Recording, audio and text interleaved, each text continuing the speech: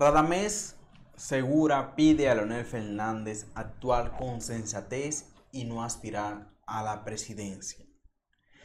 ¿Qué tal mi gente? Bienvenidos a este nuevo video. Suscríbase a este canal, denle like, de su comentario, active la campanita, ve este video por completo. Vamos a analizar este video. Comparte el link de este video también para que más personas lo vean.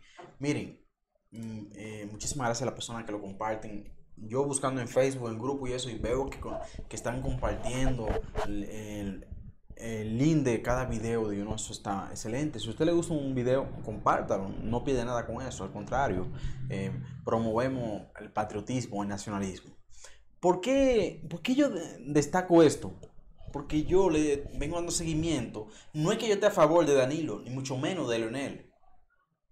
Son los dos delincuentes para mí. Son de los dos no se hace uno. Pero yo le vengo dando seguimiento a estos dos ladrones y a sus secuaces. Y por eso yo me veo obligado de dar la noticia eh, de cualquier bando de esta delincuencia organizada en nuestro país. Esta noticia es del 31 de julio de 2019, el último día de este mes de julio.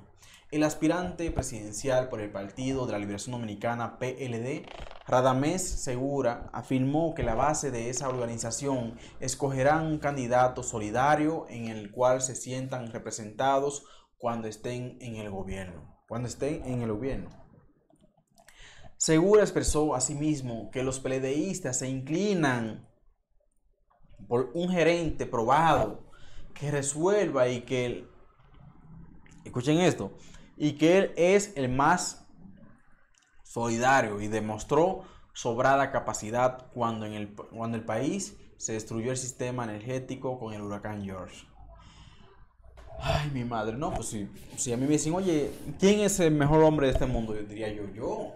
Es un hombre solidario, aunque yo un desgraciado, un aqueroso, pero Dígame que diga esa palabra, que es una palabra normal en, la República Dominicana y yo no la uso mucho. De hecho, esa palabra solamente la digo en los videos, de hecho, porque son dominicanos los que me ven. Entonces, o sea, yo, puedo ser un asesino, puedo hacer lo que sea, y yo voy a decir que soy la mejor persona. Aunque yo sea un asesino en serie, yo voy a decir, no, yo soy un santo. A mi propio criterio. ¿Quién es malo a su propio criterio? Nadie es malo. Pero Qué chiste hizo este hombre. Dijo que la nación fue testigo eh, bajo su dirección. Eh, la electricidad fue restaurada en tiempos récords cuando todos pensaron que eso no ocurriría ya por eso salvó el país. El país se, se sigue yendo la luz en muchos lugares, en la mayoría de lugares, y viene a tabla de energía. Mejor ni hablo de energía. Yo soy el más solidario de los aspirantes con la base del PLD y lo he demostrado en las funciones públicas que he desempeñado, siempre abierto para, para los compañeros y compañeras, sostuvo segura. En otro orden, manifestó que no es justo que un partido con más de 2 millones de miembros, solo, solo dos sean los que tengan la oportunidad de ser presidentes, por lo que a los demás no se le dé la oportunidad. Sostuvo que el expresidente Fernández debe sentirse satisfecho y agradecido del PED por haberle llevado tres veces a la presidencia y que aspirar por cuarta ocasión se trata de una reelección aunque diferida. El compañero Leonel Fernández, dice este hombre, Leonel no es compañero mío, eh, no, espero que me caiga un rayo ese día, que eh, debe actuar con sensatez y prudencia y no aspirar a la presidencia por cuarta vez. En la práctica, eh, apoyar como, es, como, como el expresado que el PLD es, es que está, aquí está un poquito mal escrito, miren, por cuarta vez. Y en la práctica, apoyar como él ha expresado, ah, ok, ahora sí, que el PLD es una fábrica de presidentes, sentenció segura. Lo que pasa es que yo leo muy rápido y, y hasta digo las cosas mal, de que ustedes, tengo que leer, no, no, puedo tardarme mucho en la lectura. El también miembro del comité político dijo que la alterabilidad de los presidentes de la República de dos periodos de gobierno él la reconoce como un valor de la democracia y debería convertirse en una exigencia de los ciudadanos para con las autoridades de elección popular. Entiende que el proyecto que, que él encabeza es la alternativa viable que tiene el PLD, pues representa el anhelo de una amplia capa de la sociedad que está exigiendo renovación y esa sangre nueva expuesta por Danilo Medina en su último discurso ante la nación. Miren, aquí está esto. Vamos con otro artículo. Miren esto. Este, este sí está muy bueno. Este, miren. Expresidente Fernández viaja a Colombia. ¿A qué usted cree que viajó Leonel Fernández a Colombia? Déjeme un comentario. yo sé lo que usted está pensando. Miren, yo no soy brujo, pero sé lo que usted pensó. ¿A qué va Leonel Fernández a Colombia? ¿Será, ¿Será que va a lavar más dinero en la Fundación Global, que sé yo, que Democracia, Funglode? ¿Será que, que, ocupa dinero del narcotráfico para patrocinar su campaña presidencial? ¿A qué va este hombre Colombia? Vamos a ver. Dice aquí, el expresidente Leonel Fernández viajó este miércoles a Colombia por esta terminal de la de las Américas para atender asuntos privados.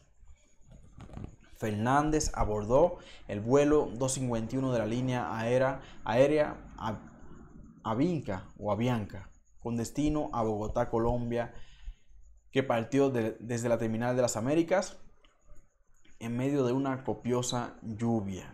El ex jefe de Estado, al ex jefe de Estado y presidente del Partido de la Liberación Dominicana, le acompaña a su seguridad personal en tanto que fue despedido en el aeropuerto por su ayudante militar, el general Héctor.